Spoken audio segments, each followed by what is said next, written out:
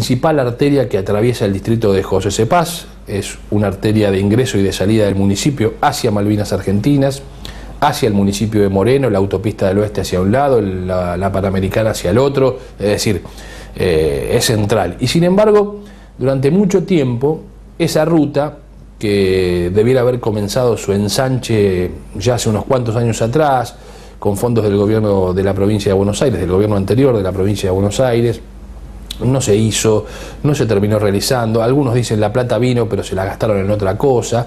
Gobernaba Carlos Urquiaga en ese momento. Bueno, la cuestión es que la obra había que terminarla y se terminó. Mm, se terminó, lo explicó Mario Villa en el discurso que ahora vamos a escuchar, en la inauguración el otro día del tramo que faltaba, ¿eh? se hizo con plata del municipio, mm, de a poco, 10 mm, metros un día, 20 el otro, se terminó. Bueno, ahora la ruta está finalizada y para el secretario de Obras Públicas, Roberto Roni Cajiano, un hombre de, que suele tener perfil bajo, pero que se ha venido convirtiendo en una de las personas de máxima confianza del intendente municipal, y, en esto me parece que hay allí un, tándem de, trabajo con el secretario de Acción Directa, Pablo Mancilla. Bueno, eh, fue muy agradecido y envió algunas señales. Eh. Quiero que lo escuchen a, a Ronnie que no suele hablar, no suele hacer discursos, pero que sí lo hizo porque además la ocasión lo ameritaba. Hoy es un día muy especial para, para mí y creo que para la mayoría de ustedes, para el intendente, lo sé que lo es. Así que agradecerle, agradecerle a cada uno de ustedes que puso este granito de arena, que hace mucho tiempo que venimos, que venimos trabajando. Voy a ser breve porque tiene que hablar el intendente, está el padre que nos tiene que dar la bendición, pero les voy a contar algo cortito. Hace tres años cuando el intendente reasumía esta ruta, este tramo desde, desde Croacia hasta Saavedra Lama, estaba cortado y era de tierra. Y esta ruta, la ruta 197, para todos nosotros los que nacimos acá, hoy ruta 24, es una de las rutas más importantes de la provincia, es una arteria que une la Panamericana con el acceso este, es una arteria importantísima. Y este intendente encontró la ruta de tierra. Trabajamos muchísimo. Créanme que él cada mañana, que arranca a las 5 de la mañana, la recorría y era una preocupación. Y todos los días me llamaba y me decía, ¿cuánto falta? ¿Cuánto avanzamos? ¿Avanzamos 10 metros? ¿Avanzamos 5? Así que déjenme agradecer porque para mí también era, era un desafío importantísimo y, él me puso esta meta, nos puso a toda la Secretaría de Obra eh, y creemos que, estuvimos a la altura de las circunstancias. Así que déjenme agradecer a Mario, al intendente Mario Ishi, que confió en nosotros, que confió en cada uno de ustedes, en los trabajadores de la Secretaría de Obra. Quiero un agradecimiento especial para la Secretaría de Proyectos Especiales, que trató toda la parte administrativa y que estuvo a la par nuestra trabajando con Nacho, Hugo Gilio, todos los muchachos. La verdad que fue importantísimo el trabajo que hicieron ellos también. No me voy a extender mucho más, agradecerle nuevamente a toda, a toda la gente, a todos los otros secretarios que nos acompañaron, que nos apoyaron en, esto, que, fue un trabajo importantísimo. Y le quiero decir una sola cosa, que esto, como para terminar, que mientras en otro lado inauguran lomas de burro, eh, placitas, eh, semáforos, este intendente inaugura hospitales y una de las rutas más importantes de la provincia de Buenos Aires. Muchas gracias. Bueno, ahí está, ¿no? algunos mensajes no tan subliminales, sino más que directos. Algunos inauguran lomos de burro, nosotros inauguramos hospitales y rutas. Mm, es como dice la, frase, ¿no? El que le quepa el sayo que se lo ponga. Seguramente habrá pensado Ronnie Cajiano cuando hacía este discurso. Ahora vamos a escuchar a Mario Ishi, que también hablaba de este tema y algunos más. Escucha. Decirles a ustedes que esta ruta era un grano que tenía uno de que llegué estaba por allá, se equivoca Ronnie, estábamos en el odontológico cuando llegué. Y de aquí tenemos que marchar y no tenemos la plata. Cuando la bolsa cemento valía, valía a lo mejor 60 pesos, empezaron a hacer la obra. La bolsa se fue 150, la empresa se fundió. Y la plata no le alcanzaba. Y entonces digo, habrá que hacerla. Hablamos en Nación, dice, no hay más plata, el contrato es este y no se puede mover. Entonces empezamos todos los días, 20 metros, 10 metros, 50 metros, lo que teníamos. Hoy puedo decirles, tenemos nuestra ruta 197 o 24 X197 hecha. En, esta, en este cerrar de la ruta, muchos vecinos tuvieron que padecerlo.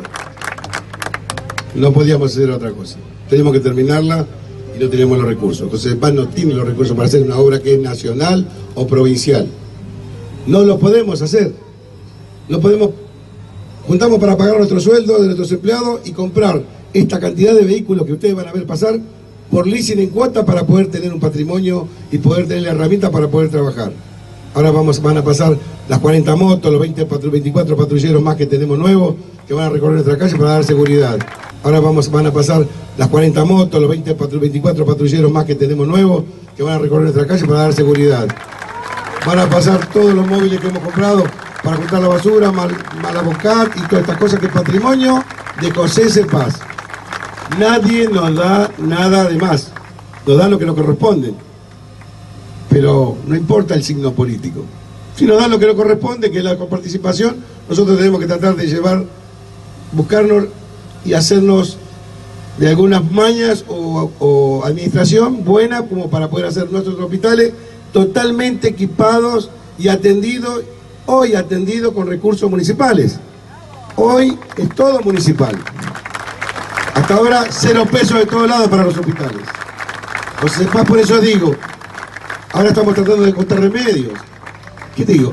Tenemos, créanme compañeros, que tenemos que quererlo mucho José de Paz. Somos un, partido de gente obrera. Desgraciadamente, muchos compañeros desocupados.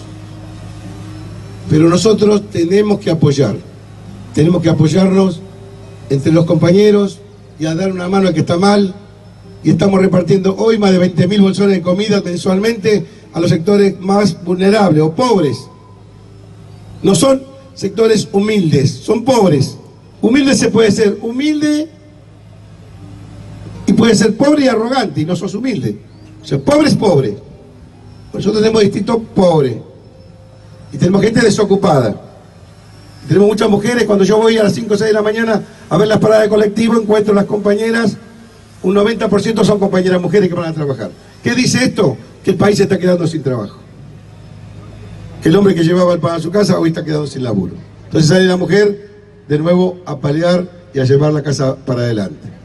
Por eso, juntémonos todos. Ahora empezamos fuerte con la Facultad de Medicina. Estoy todos los días, mañana, mediodía y tarde hasta última hora para tener nuestra Facultad de Medicina. Nuestros pibes no los podemos mandar a laburar porque no tenemos fábricas. Entonces, ¿qué tenemos que tener? un lugar donde puedan hacer su futuro. Tenemos la Universidad Nacional de José de Paz, la UNPAS, que hay 15.000 alumnos. Pero nosotros necesitamos médicos, son todos un 70%, tenemos ecuatorianos, bolivianos, peruanos, son hermanos latinoamericanos que vienen hoy, colombianos, venezolanos, vienen a entregarnos a nosotros eh, su mano de obra porque no tenemos. Yo quiero tener nuestros médicos, nuestros odontólogos, quiero tener nuestros cirujanos, quiero tener nuestras enfermeras, que sean de José de Paz y tengamos nuestro trabajo para atender a nuestros hermanos que viven de José de Paz. Por eso, al pibe que está en la casa, que más de un compañero de lo que está acá lo tiene dando vueltas porque terminó la secundaria y no sabe qué hacer, porque padre, el padre cobra dos mangos o quedó desocupado, la madre cobra dos mangos que sirven probablemente para pagar los impuestos que vienen bastante caros en iluminación y servicios para pagar esos impuestos y no pueden mandar a sus pibes a estudiar. Y si nosotros no formamos a nuestros jóvenes, que siguen, yo digo que son mucho más inteligentes que nosotros, y tenemos que dar la oportunidad al joven. El joven tiene que prepararse para el futuro. El joven debe prepararse estudiando, preparar, prepararse para un futuro mejor a partir de la educación.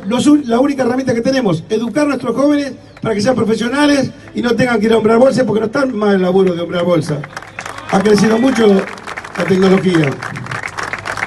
Entonces, todos juntos, hermanados, en esta misión de sacar a José de Paz adelante, yo que tengo mucho amor por José de Paz y quiero al prójimo, quiero que ustedes me ayuden a ser grande José de Paz porque vivimos, nacimos y crecimos José de Paz y, quiero que todos ustedes acompañen porque realmente es parte de nosotros. Pónganse la camiseta de José de Paz y saquen pecho y aunque las cosas vengan mal, salgan para adelante lleven la, la- buena onda a la familia y tratemos de sacar a José para adelante.